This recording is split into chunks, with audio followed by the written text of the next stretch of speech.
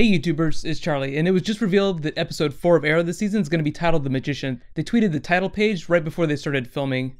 Mark Guggenheim included John Barrowman's name in the tweet, so the title, The Magician, probably refers to Merlyn the Magician, but it could also be an Easter egg for Zatanna, as well as other magical things inside the Arrowverse. You also have to remember that Guillermo del Toro has also been talking a lot about Justice League Dark recently too, so it gets you thinking. This video is mostly going to be an explanation for Merlyn the Magician, as in Malcolm Merlyn, just because that's what episode 4 is really going to be about, Magician is just one of his nicknames from the comics, but I'm also going to do some backstory for Zatanna as well as Dr. Fate, Constantine, and Justice League Dark and how the show might treat them if they do a crossover. And if you're finding me for the first time, I do Arrow videos every week, so be sure to subscribe to get everything.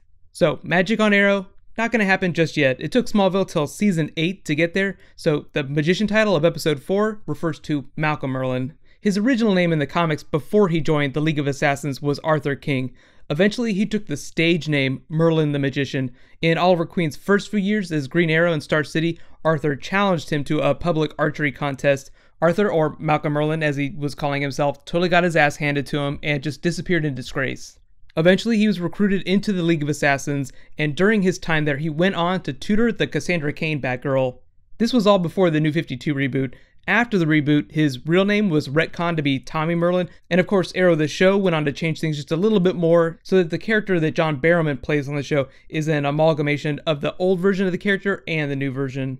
So, what does picking a title like The Magician say about the story? Mostly, I think it's going to be John Barrowman's grand reintroduction to Starling City. They'll have to explain what he was doing while he was away the first time during season 2, and then what he's been doing since he came back for Thea. There is no guarantee that Thea is going to be part of the episode, but since Willa Holland is still a cast regular, I'm guessing she's going to be around. Mostly, though, it's just going to be about Merlyn. Merlyn is Oliver's ultimate villain. It's like the relationship between Grant Gustin's Flash and Professor Zoom. Merlyn's a little bit more of an ambiguous villain than Professor Zoom, but what if they gave him his own island arc in season 3? Not send Merlyn to the island or anything like that. I mean, give him a flashback story that would be told over one or more episodes. So season to season, Oliver's flashbacks serve a really important purpose. Yes, they're totally awesome to watch, but they inform the plot and present day. Usually the flashbacks tease things that are central to each episode. Because episode 4 is titled The Magician, they could use a flashback to tee up Merlyn's grand plan for season 3. Remember, way back in the comics, Oliver totally shamed him during an archery contest, so the show could twist things just a little bit and make Merlyn shame Oliver in some public way. Since it's pretty early in the season and John Barrowman is a cast regular, whatever his story is going to be, it's going to take all season to tell. So they'll probably just be setting things up.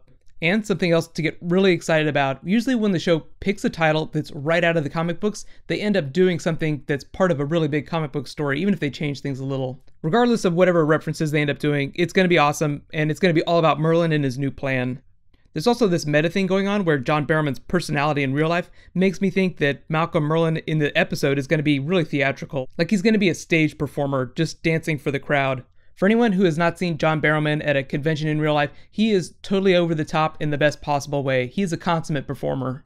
If you remember him from Doctor Who or Torchwood, whenever he got to do a little more singing and dancing, that's what I'm thinking of. Stephen Amell already said that he flat out refused to do a musical episode of Arrow. He was mostly joking, but at the same time, Malcolm Merlyn I think is going to be very flamboyant without being funny. Picture him giving off more of a Tom Hiddleston Loki vibe, you know, just having fun being in the spotlight again. In the sense of the story, Malcolm being back in the public eye inside Starling City. As for what I think he was doing during the break, I mostly think he was training Thea and laying the groundwork for whatever his takeover plan is. Something that would restore a lot of his lost power. Remember, he lost his company just like Oliver lost his, so Merlyn and Oliver still share a lot in common. Thea's storyline is a little bit easier to predict, but I have no idea what Merlyn's grand plan is going to be. I just think that he's going to be taking advantage of Oliver being very distracted.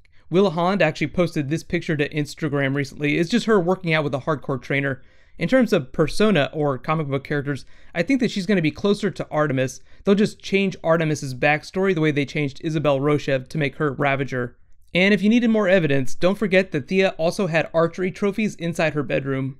Her motivation in season 3 is just a little unclear right now, but I am so looking forward to her getting a big fight scene with Roy. It's just going to be so much fun.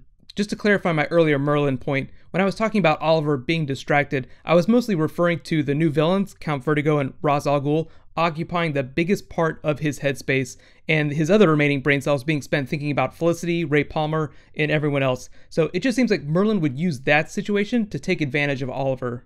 So, now time to talk about Zatanna, Dr. Fate, Constantine, Justice League Dark inside the Arrowverse. Magic right now totally does not exist inside the Arrowverse, but the producers of all the different DC TV shows are open to the idea of crossovers. So until there's a strong plan in place for Arrow and Constantine to start referencing each other, Zatanna has a better chance of showing up inside a Constantine episode, just because they're already dealing with that type of subject matter because of the way they tease Dr. Fate in the Constantine premiere, I think that Constantine is going to wait till season 2 before it does any big, big comic book characters. They'll probably follow the Arrow model, stick to core characters in the first season, and if it gets renewed, which I think it will, use season 2 to bring in more comic book characters. Like Zatanna would be a really easy sell. Constantine is already rooted in the idea of magic and supernatural powers.